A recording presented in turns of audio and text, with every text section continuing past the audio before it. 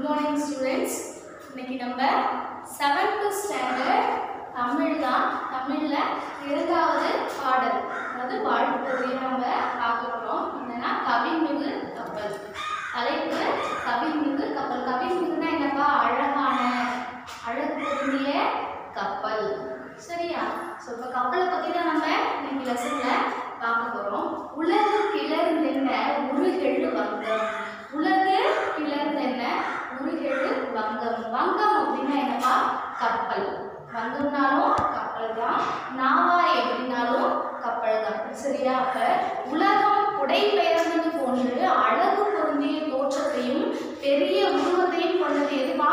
கப்பல். வங்கம் சரியா? அது மட்டும் இல்லாம புலவுதிரை பெருங்கடல் நீரிடை போல.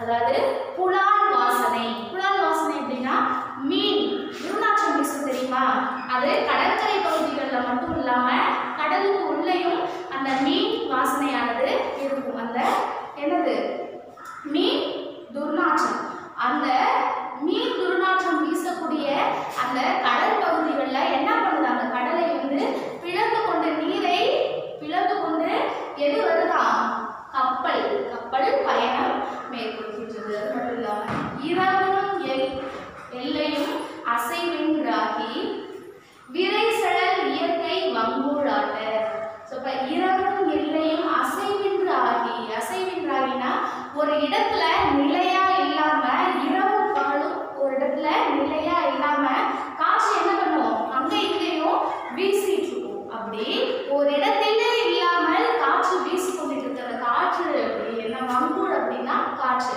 அந்த காற்று வந்து எதை வந்து அசைந்து முன்னோக்கி தள்ளுகின்றதா கப்பல். கப்பல். அதாவது நாவாய் வங்கத்தை வந்து முன்னோக்கி செலுத்துகின்றது. எது?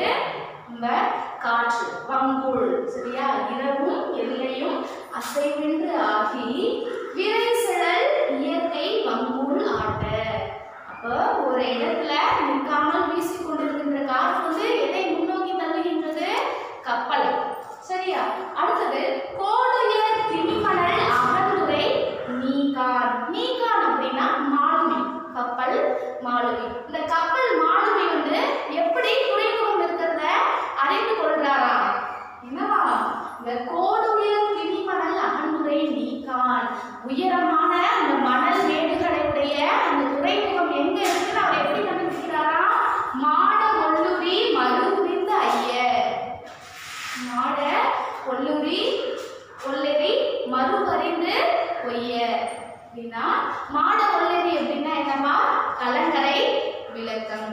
ஸோ மாட ஒல்லரி அப்படின்னா கலங்கரை விளக்கம். இப்போ கலங்கரை விளக்கத்தில் ஏற்றப்பட்டு எரியும் அந்த நெருப்பு தீச்சுடர் அதுல இருந்து அந்த ஒளியை வச்சுதான் அந்த உயரமான இடத்துல அந்த துறைமுகம் இருக்கு அப்படின்னு அறிந்து கொண்டு துறைமுகத்தை நோக்கி கப்பலை செலுத்துகிறார் யாரு?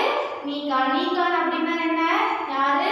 நீகான் அப்படின்னா கப்பல் மாலுமி ஸோ இப்போ இதோட ஆசிரியர் யார் அப்படின்னா மருதன் இளநாகனார் மருதன் இளநாகனார் சரி வாங்க இப்போ நம்ம வந்து ஆசிரியர் பார்க்கலாம். மருதன் இளநாகனார் இவர் வந்து ஒரு சங்ககால புலவர் சங்க இலக்கியங்கள் என்ன சொல்லுவோம் எட்டு தொகை பத்து பாட்டு சரியா இப்ப சங்க காலத்துல வந்து யாரு?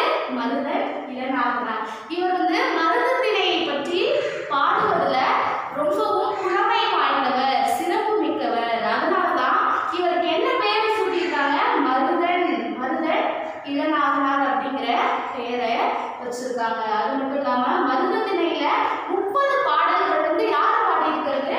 இவரு பாடியிருக்காரு. யார்? மருத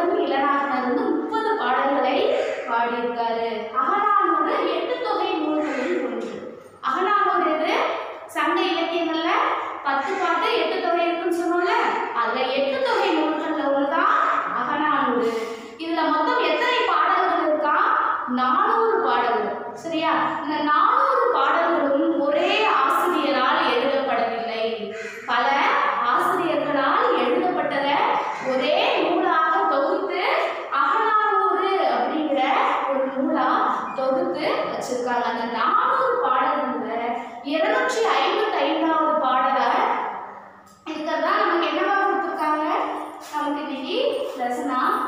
கொடுத்துருக்காங்க சரியாப்பா ஒன்ஸ் அகைன் நம்ம பார்த்துக்கலாம் உலகு கிளர்ந்தென்ன உருகெழு வங்கம். புலவுதிரை பெருங்கடல் நீரிடை போல இரவும் எல்லையும் அசைவென்று ஆகி விரைசலல் இயற்கை வங்கூடாக கோடுயர் திரிமணல் அகந்துரை நீக்கான்.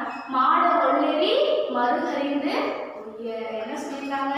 உலகம் புடைபெயர்ந்தது போன்று பெரிய தோற்றத்தை உடையது எதுவா? கப்பல். அது எப்படி வருதா அந்த கடலுக்கு இடையில அந்த நீரை பிளந்து கொண்டு அவ்வளவு வேகமாக இது வருது. இது கப்பல்? வருகின்றது. இரவும் எல்லையும் அசைகின்றாகி. ஒரு இடத்துல இரவும் பகலும் ஒரே இடத்துல இல்லாம எப்ப பாரோ அஹ் என்னது அசைந்தாடி கொண்டிருக்கின்ற அந்த காத்து வந்து என்ன பண்ணுது அந்த கப்பலை முன்னோக்கி தள்ளுகின்றது சரி குறித்த திசையை நோக்கி தள்ளுகின்றது. கோடுய திணிமணல் அகன்முறை நீங்கான் நீங்கான் அப்படிங்கிறது மாலுமி. அப்ப கப்பல் மாலுமி எப்படி துறைமுகம் இருக்கு அப்படிங்கறத கண்டுபிடிக்கிறாரா? அங்க இருக்கிற மாட ஒல்லெறி மாட ஒல்லெறினா கலங்கரை விளக்கம். இப்போ கலங்கரை விளக்கத்தை வச்சுதான் இந்த இடத்துல அந்த உயரமான துறைமுகம் இருக்கு அப்படிங்கிறத யார்